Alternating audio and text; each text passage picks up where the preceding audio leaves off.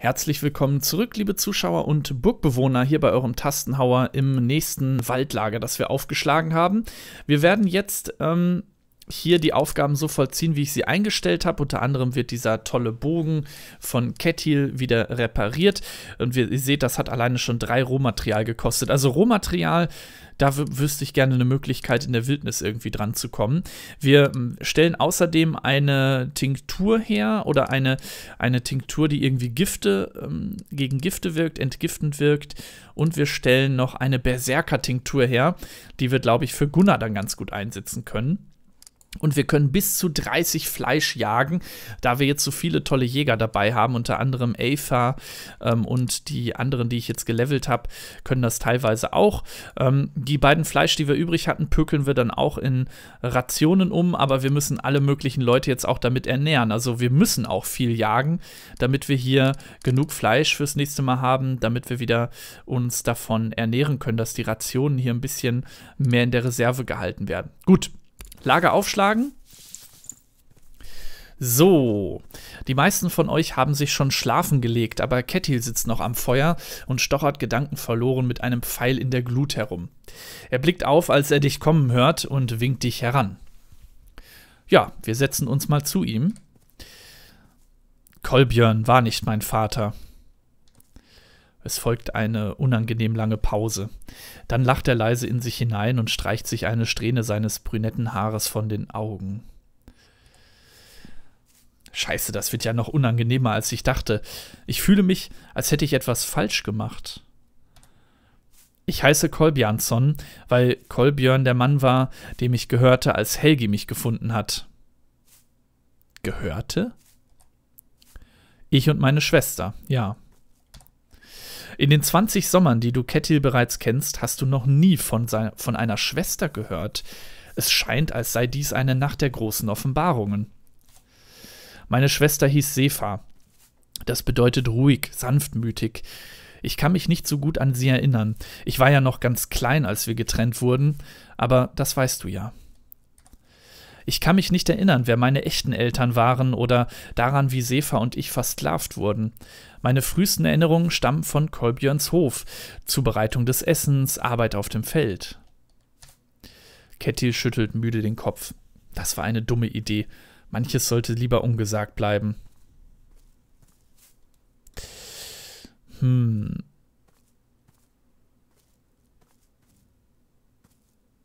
Was antworten wir ihm darauf?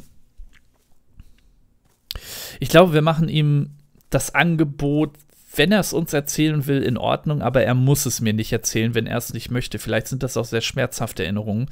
Also, du musst es mir nicht erzählen, wenn du nicht willst. Ja, Dein Vater kam mit dem Schiff zum Bauernhof. Ich weiß noch, dass Grimulf da war und Holmun und ein paar der anderen Männer. Falls du dich korrekt erinnerst, führte die Reise deines Vaters, von der er Kettil mitgebracht hat, nach Norden bis Akta und dann die Küste hoch nach Rogaland. Dann wäre dieser Hof im Norden an der Westküste. Kolbjörn hat uns immer schlechter und schlechter behandelt. Ich erinnere mich, dass er irgendwelche Schwierigkeiten hatte. Erwachsenenkram, viel zu kompliziert für einen Achtjährigen. Die Emotionen schwingen in Kettys Stimme mit und er fährt leidenschaftslos fort, als würde er Ereignisse beschreiben, die ihm von jemand anderem geschildert wurde. Ich habe einen dummen Fehler gemacht, vielleicht irgendetwas fallen gelassen und Kolbjörn rastete richtig aus. Ich denke, er hatte große Angst vor deinem Vater, aber er ließ es an mir aus. Er schlug immer und immer wieder auf mich ein. Dann sprang Sefa auf ihn und versuchte, mich von ihm wegzuziehen. Er hob sie hoch und warf sie gegen die Wand. Ich habe nicht richtig gesehen, was danach passierte. Ich hatte Blut, Rotz und Tränen in den Augen. Es gab einen großen Tumult und dann wurde es sehr still. Helgi half mir ganz behutsam auf. Sie führten mich aus dem Hinterausgang, damit ich nicht sehen musste, wie, wie Sefa tot am Boden lag und Kolbjörn daneben mit heraushängenden Eingeweiden.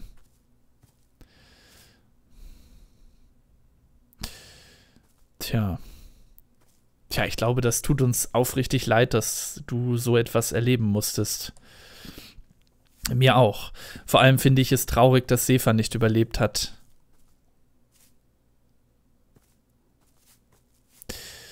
Tja, wir könnten jetzt fragen, ob vielleicht mein Vater, also der Vater von Sigurd, die Schwester getötet hat, nachdem sie Kolbjörn umgebracht hatte. War es etwa mein Vater, der deine Schwester getötet hat? Nein, Kolbjörn hat sie getötet und deshalb hat Helgi Kolbjörn getötet. Ach so ist es abgelaufen, okay. Er fühlte sich offensichtlich verantwortlich für mich. Kolbjörns Weib war schon lange tot, also nahm Helgi mich mit nach Skjern und Mani nahm mich auf. Hm, kannst du dich wirklich nicht an deine Eltern erinnern? Es fällt ihm schwer, die richtigen Worte zu finden. Nur die Spur eines Gefühls manchmal, wenn der Wind einen bestimmten Geruch zu mir trägt, schwer zu beschreiben. Ich habe aber etwas, das mich an sie erinnert. Kettil kramt in seinem Rucksack und zieht eine, fest, eine feine Brosche aus vergoldetem Silber hervor, die geformt ist wie ein unvollendeter Kreis. An beiden Enden befinden sich ein vierblättriges Kleeblatt mit einer roten Glaskugel in der Mitte. Du glaubst, du hast sie schon einmal gesehen, aber du hast ihr nie eine besondere Bedeutung zugemessen. Holmund hat sie damals Sefa abgenommen, bevor wir gingen. Hm, das sieht ja piktisch aus, oder? Seit wir hier sind, denke ich das auch immer wieder. Meinst du, das heißt, ich möchte keine voreiligen Schlüsse ziehen. Wir sollten sie vielleicht in Perth von ein paar Leuten zeigen, äh, in Perth ein paar Leuten zeigen, um sie zu um zu sehen, ob sie eine Reaktion auslöst. Ja, ich würde sagen, wir unterstützen ihn dabei. Vielleicht können wir irgendwie seine Eltern ausfindig machen, selbst wenn sie jetzt nicht leben sollten. Lass es uns tun. Bist du nicht aufgeregt? Sicher, aufgeregt und ein bisschen ängstlich. Ja, das kann ich mir vorstellen. Das löst natürlich auch Angst aus, dann endlich Gewissheit zu haben. Das beunruhigt ihn natürlich ebenfalls. Oh Mann, was für eine Offenbarung. Kettil stammt vielleicht von piktischen Eltern ab. Mal gucken. Wir bekommen eine Menge Fleisch, ein bisschen Medizin, ein Berserkertonikum und ein Gegenmittel. Sehr schön.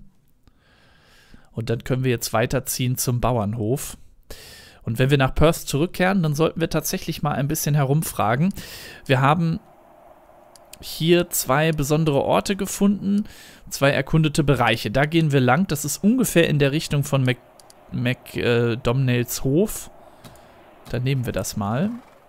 Elf Holz finden wir hier noch. Und 18 Holz. Oh, jetzt haben wir wieder richtig viel Holz. Ich glaube, wir können das Anwesen noch nicht auf, ausbauen. Noch drei Tage dauert das. Dann können wir aber auf jeden Fall in acht Stunden zu McDonalds Hof reisen. Hier mitten in der Nacht. Hm. Mal gucken. Sollen wir Ave mitnehmen? Ja, auf jeden Fall, die Jägerin. Jetzt habe ich natürlich die. Moment mal abbrechen. Jetzt habe ich das Inventar nicht ergänzt. Ich würde natürlich auch Ave den guten Bogen geben wollen. Speer mit geflügelter Spitze 11, 16, 4, 1,25. Wie vergleicht sich das denn mit Nefja Speer? Nefja Speer ist doch noch eine Ecke besser, allerdings braucht sie den auch. Aber sie hat ja. Wir müssten eigentlich noch andere Speere haben. Gut, aber dann lasst uns mal Kettil diesmal zu Hause bleiben. Vielleicht ja, vielleicht geben wir Ave die bessere Rüstung, aber dann verliert sie wieder einen Bewegungspunkt, ne? Hm. Ach, übrigens, Sefas Halskette von Kettil bedeutet ihm viel. Gibt 5 Schadensreduktion gegen Fernkampf. Tja, aber das sollte er ja tragen. Das ist ja sein Amulett hier. Ähm, das sollten wir auf jeden Fall ihm lassen. Das werde ich jetzt nicht tragen. Das, das fände ich jetzt irgendwie nicht gut. So, wir geben hier den besseren Bogen. Wobei der Kiefernbogen mehr Schaden und mehr panzerbrechend ist. Weniger Crit-Modifikator hat. Das ist ja interessant. Also der Bogen hier macht mehr Schaden. Okay. Dann kann tatsächlich Kettil seinen Bogen erstmal behalten. Gut, dann ist Ave eigentlich ganz gut ausgerüstet. Hat jetzt nicht die riesen Scha Nahkampf äh, Schadensreduktion, aber das braucht sie auch nicht als unauffällige Frau. Das ist, denke ich mal, okay. Ja, im Körper des Anwenders Gift. Wer wird denn wohl am ehesten vergiftet werden? Das ist natürlich immer schwer vorherzusehen. Was hast du dabei? Eine betäubende Tinktur. Ja, das ist so ein Heilgegenstand. Damit können wir ein Feuer löschen. Vielleicht Morkant. Dass er Gift heilen kann. Aber nur die Wirkung im Körper des Anwenders, also nur wenn er vergiftet wird. Das ist so ein bisschen schwierig jetzt einzusetzen, aber wir nehmen das jetzt trotzdem mal mit. Wir geben Gunnar auch schon mal das Berserker-Tonikum. Er hat hier Met dabei und nimmt dann noch das Berserker-Tonikum. Das kann ihm auch sehr, sehr helfen, wenn wir mal einen richtig starken Gegner mit Sturmangriff angreifen wollen. Denn das erhöht die Stärke unserer Angriffe, die ja eh schon so super stark sind. Ja, das ist doch okay. Gut, das Met. Was macht das Met nochmal? Stärke wird drei Runden lang erhöht. Die hat er ja eigentlich sowieso schon so hoch. Ich glaube, er braucht gar keinen Met.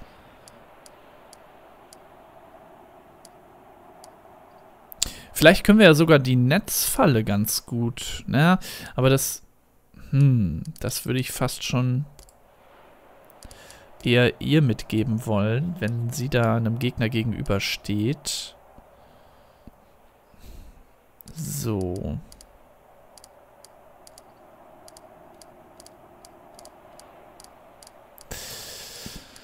Hm, boah, haben wir viele Gegenstände inzwischen, viele Fackeln und so weiter. Alles mögliche an Zeug. Eine Grabblume.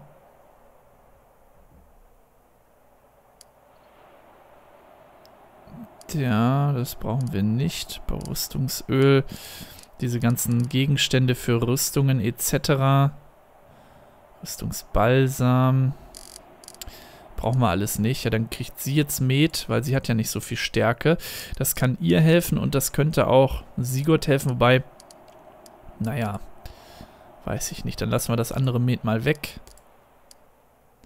Sie hat hier noch die Barrikade und eine Fackel dabei.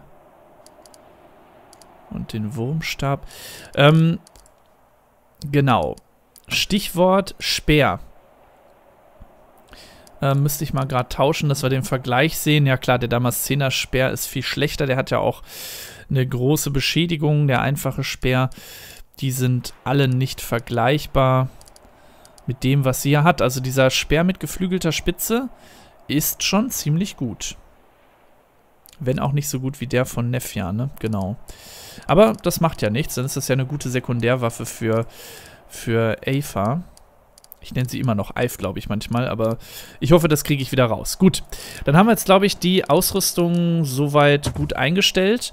Fühle mich sicher, dass wir hier den Hof betreten können, denn es könnte kämpferisch werden. Mit einer gewissen großen Wahrscheinlichkeit sogar. Mal schauen. Gut, dann nehmen wir Ava mit. Wir nehmen Eides mit, die wenigstens zufrieden ist. Wir nehmen Gunnar mit. Ähm, wir nehmen Ja, entweder, ich glaube, Morkant mit und Nefja. Und dann sind wir, glaube ich, ja, dann sind wir gut dabei. Bin mal gespannt. Dann bin ich jetzt mal gespannt, was uns hier am Bauernhof erwartet und ob wir Cornell tatsächlich hier finden und Keltrim. So, was haben wir hier drüben? Hier hockt schon jemand. Oh Mann, ich bin echt beunruhigt hier. Hier sind schon die ersten Krieger. Stehen bleiben! Gut, wir könnten angreifen oder wir könnten sagen, dass wir mit Connell McTake sprechen wollen.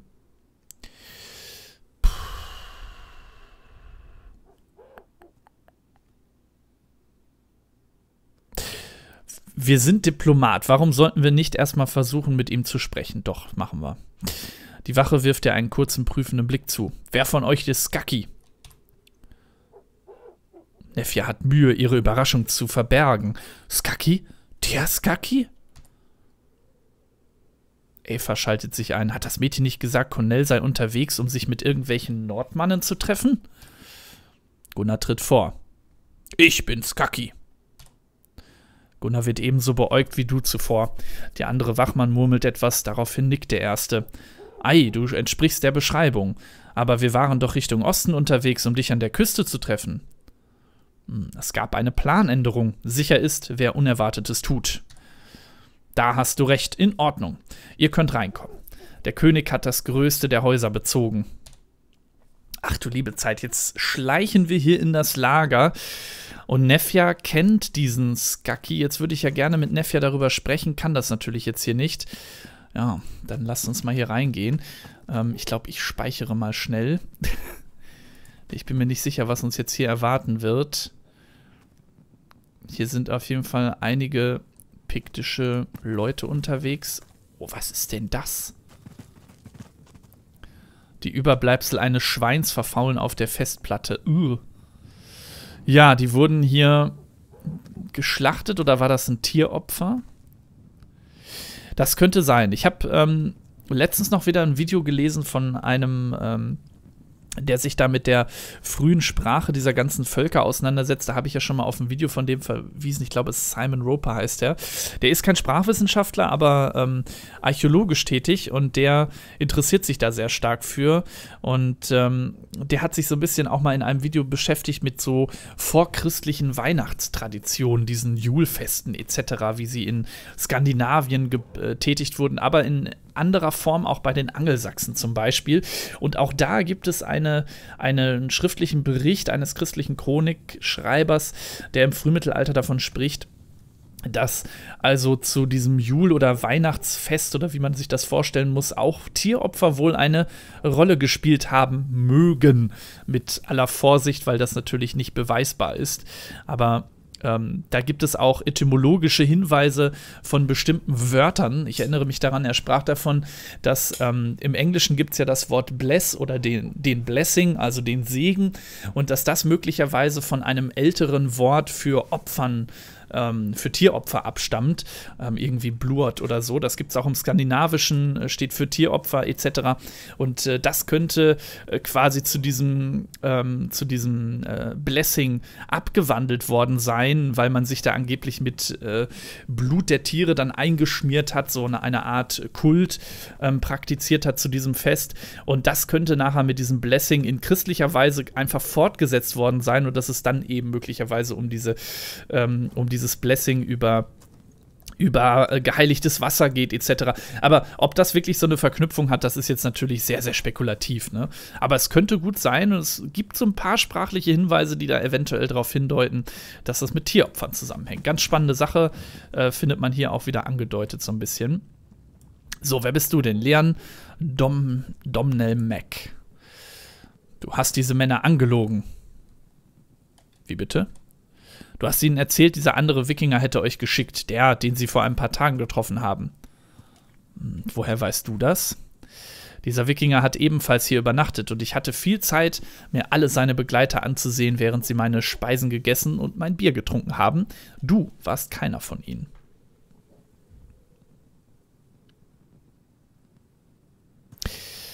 Ja, wenn du Probleme machst, werden wir dich als erstes töten. Das ist natürlich eine leere Drohung. Er könnte jetzt ja direkt Alarm schlagen, hat er aber noch nicht gemacht. Also sind wir mal freundlich zu ihm, in Anführungsstrichen, und fragen mal danach, was sein Schweigen denn wohl kosten wird.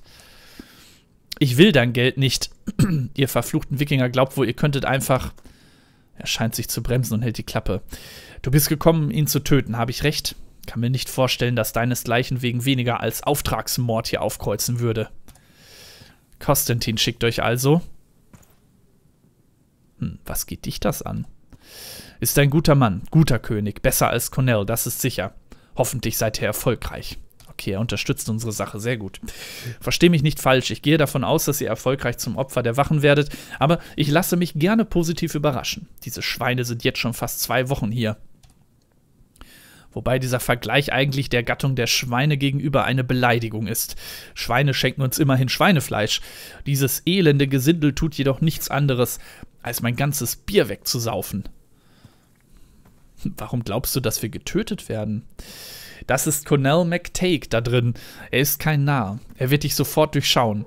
Falls seine Männer euch nicht töten, tötet ihr ihn. Aber dann wird die Hölle los sein. Wenn ihr hier draußen ankommt, werden bereits alle hinter euch her sein. Hast du gerade davon gesprochen, dass, diesen, dass du diesen Kerlen Bier servierst? Er wirft dir einen misstrauischen Blick zu. Ei. Aber nicht freiwillig. Das kannst du mir glauben. Die plündern mich völlig aus, seit sie hier sind. Natürlich nicht im kriminellen Sinne. Cornell ist ja schließlich der König und so, aber für mich kommt es auf dasselbe raus. Mein Bier ist alle und meine Familie hungert. Tja, wir haben ja zufällig Gift bei uns, das wusste ich gar nicht mehr, aber wenn sich Sigurd gerade daran erinnert, ja, warum denn nicht die Wachen vergiften? Der Farmer zieht unbewusst den Kopf ein und blickt verstohlen um sich. Ei? Wenn du etwas davon in das Bier träufelst, das du ihm servierst, wirst du ihn sehr schnell los sein. Er reibt sich das Kinn und wägt das Für und Wider dieser kleinen Idee ab. Oh, ei. Dein Plan hat leider zwei Haken.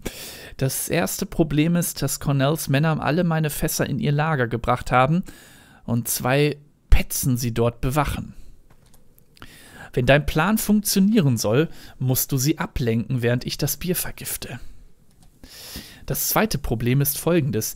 Wenn ich Cornell McTake vergifte und ihr euch einfach aus dem Staub macht, töten mich seine Männer, sobald sie ihn finden.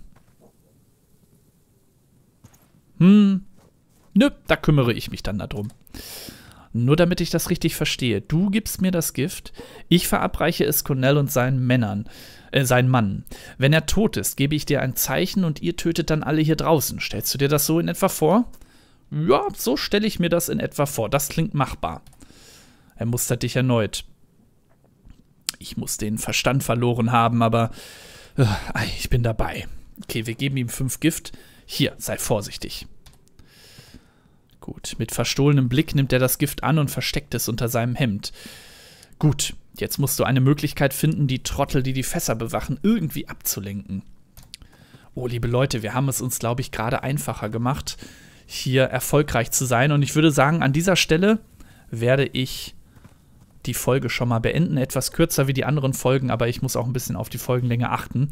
Also, beim nächsten Mal lenken wir die Wachen ab und dann können wir vielleicht Connell vergiften, ohne dass wir ihn im Kampf besiegen müssen. Nicht sehr ehrenhaft, aber ganz ehrlich, warum sollen wir uns die Mühe machen, wenn wir dieses Gift haben und es viel einfacher erledigen können? Das machen wir so. Bis zum nächsten Mal. Ciao, ciao.